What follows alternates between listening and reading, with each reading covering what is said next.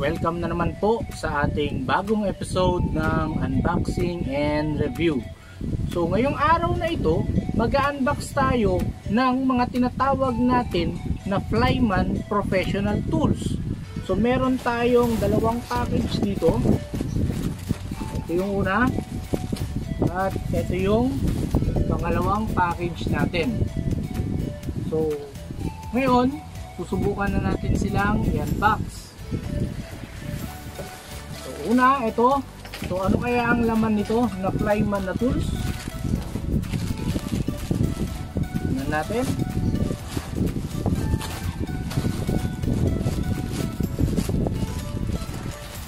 Unang tools.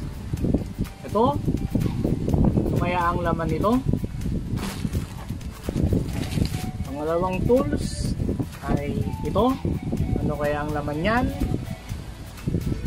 And ang pangatlong tools natin ay ito. Medyo malaki siya at mabigat. So malalaman natin kung ano yung laman nito ngayon. Simulan na natin mag-unbox. So unahin natin yung pinakamalit. Ano kaya ang tools ang uh, laman nito?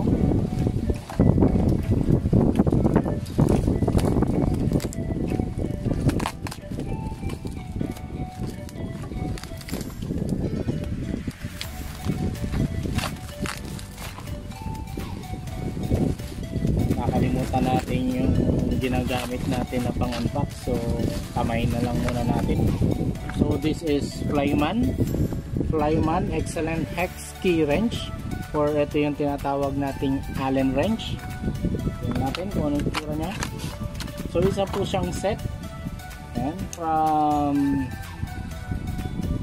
0.5 mm to 2.5 3, 4, 5, 6, 8, and 10 millimeter. Yan po ang laman ng tools. Kung titignan naman natin, mukha naman siyang matibay. Yan. Kasi ang sabi dito is gawa po siya sa hard chrome plated and it is made in USA.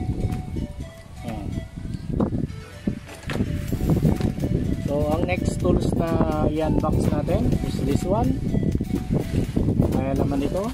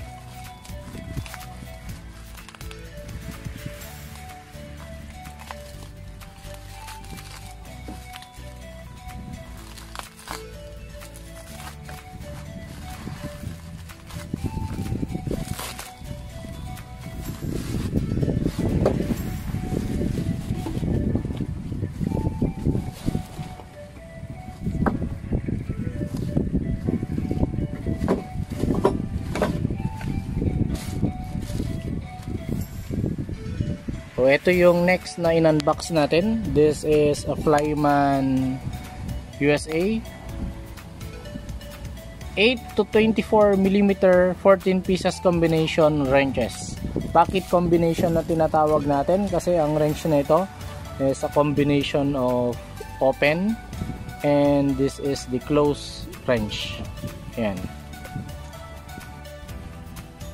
So isa-isayin na natin sila. This is 8 mm, 9, 10 mm. This is 11, 12 mm, 13, 14, 15, 16 mm, 17 mm, 19 mm, 21 mm, 22 and the last yung pinakamalaki is the 24 millimeter ayan, ayan may engrave siyang Flyman USA. So, matibay naman siya at mabigat. Siguro tatagal itong tools natin na ito. So next natin is ito. Ano kaya ito? Medyo mabigat siya at malaki.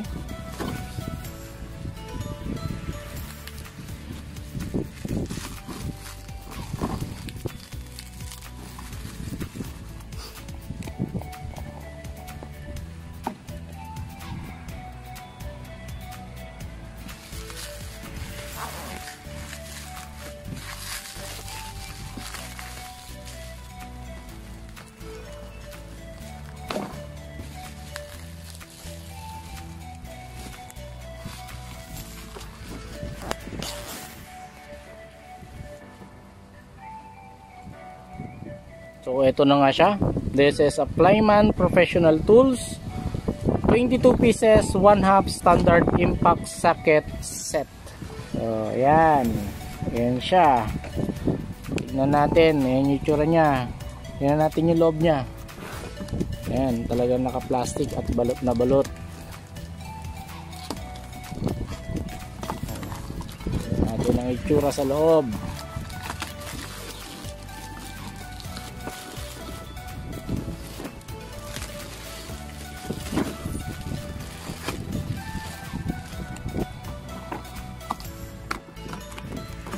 Meron siyang box.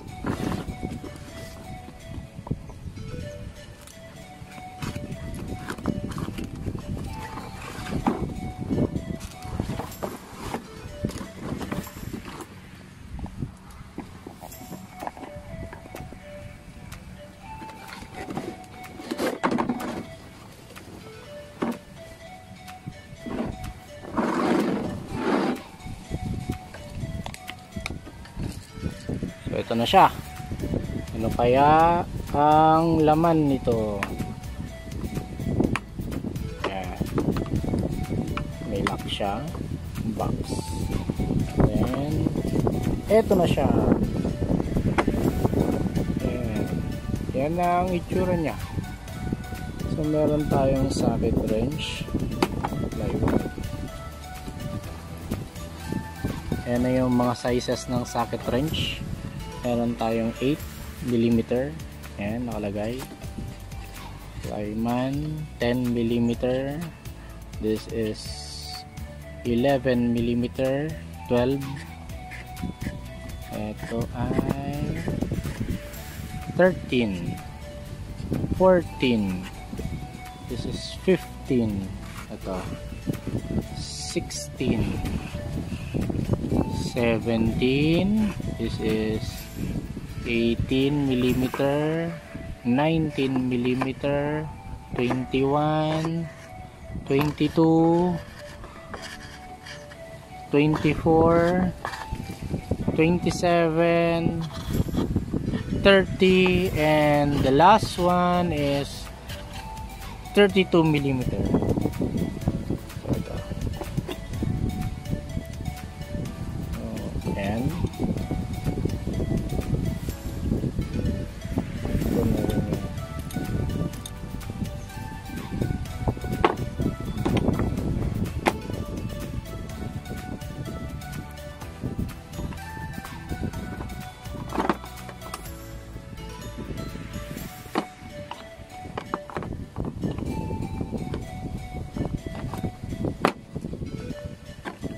extension natin yan and may mas malit din yung gusto natin yan. Hmm, yan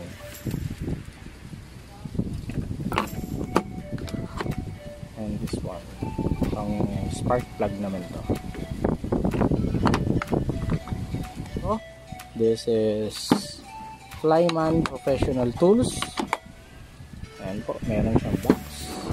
So ito po yung mga nabili natin so meron tayong socket wrench meron tayong combination wrench and meron tayong hex key wrench Ayan po, tapos na natin i-unbox ang ating mga Flyman Professional Tools. Saan ba natin nabili ito? So, nabili natin ito sa Lazada. So, isa-isain natin kung magkano. So, ito, itong Allen wrench or itong tinatawag nating hex key wrench ay nabili natin sa halagang 170. Isang set na po yan.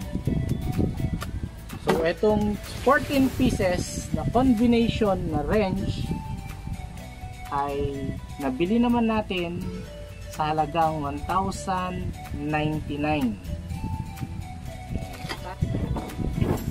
At ito namang socket wrench ay nabili naman natin sa halagang 2,075.